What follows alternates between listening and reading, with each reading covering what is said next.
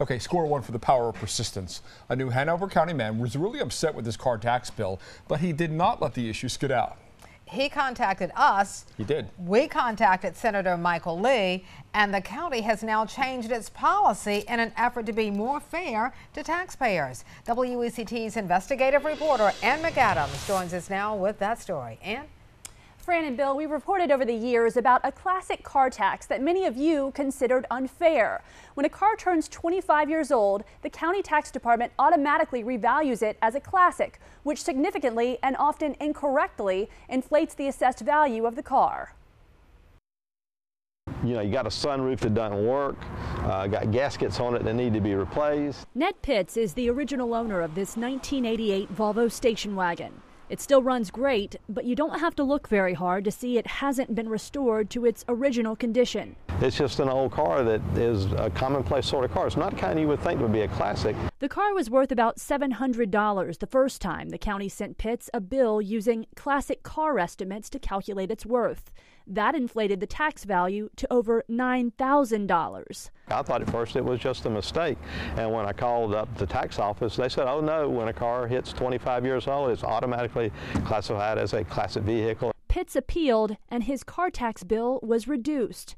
But the next year, he got another bill in the mail which had reverted the car's assessed value back to $9,000. The way they do it is every year the value sets back up to the higher value.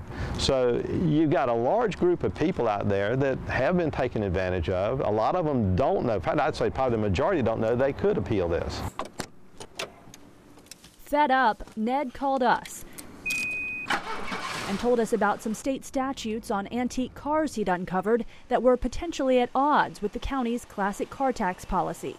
We called Senator Michael Lee, who did some research of his own and reached out to the county. Senator Lee had been perhaps looking into it and um, expressed perhaps some concern with how we were doing it. And what we were doing was acceptable, but not necessarily in the best interest of the taxpayer or most fair to the taxpayer. New Hanover County has now changed its procedure and will send out letters to residents who have cars over 25 years old, warning them their cars will be assessed as classics before the tax bill is generated. That should help taxpayers recognize a potentially inflated valuation and give them more time to challenge it. So, can you get a refund if you've already overpaid without realizing it?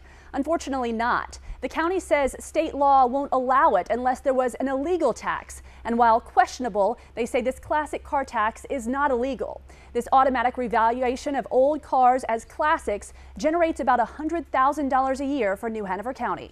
Reporting live, Ann McAdams, WECT News.